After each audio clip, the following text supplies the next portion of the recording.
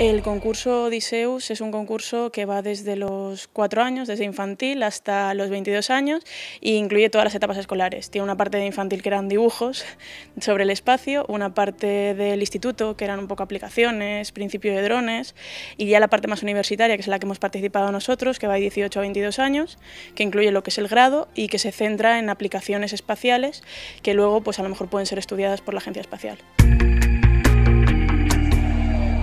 Nosotros, partiendo del trabajo de final de grado de mi compañero Said e intentando hacer una aplicación más práctica partiendo de su aplicación teórica, hemos aumentado la eficiencia en un motor cohete mediante el uso de termoeléctricos. Esto es una aplicación que ya se estaba haciendo en la Agencia Espacial Europea, pero nosotros sí que hemos hecho una demostración, que es un poco una cosa que nos estaba trabajando mucho hasta el momento. En el concurso ha sido muy interesante, sobre todo para el juez, que era el miembro que representaba la Agencia Espacial Europea, y nos ha ofrecido dos becas eh, para hacer prácticas el año que viene eh, relacionadas con este tema, puesto que ellos tienen un departamento entero que se está encargando de, de esto ahora mismo.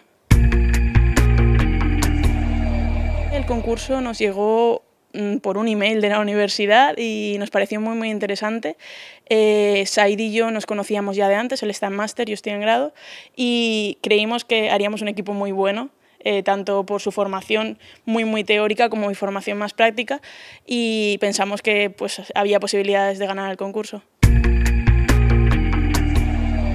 El concurso eh, empezó sobre octubre, cuando empieza, abre las aplicaciones y dura hasta noviembre el primer periodo. Ahí se hace una evaluación online, online por parte de los jurados y lo que se estudia es la fase nacional. Ahí es la primera fase, se pasa a la fase nacional y una vez has pasado la fase nacional, que es como digo es online, hay una fase presencial que se hace por regiones.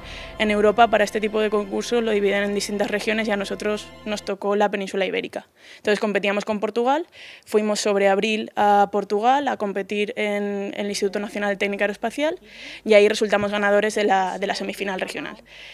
Por lo tanto, pasamos a la final, que fue en, Bruselas. Ahí teníamos un finalista por región, eh, que en total creo que salieron seis o siete regiones. Es financiado por la Comisión Europea el concurso, entonces era de Europa, sí que se permitía competir a países externos, pero no resultaron ganadores finalmente. Y ahora tenemos desde septiembre de este, de este año hasta septiembre del próximo año. Es una beca de cuatro meses a seis, según la parte del proyecto en la que estemos y bueno, eso la información nos llegará más adelante.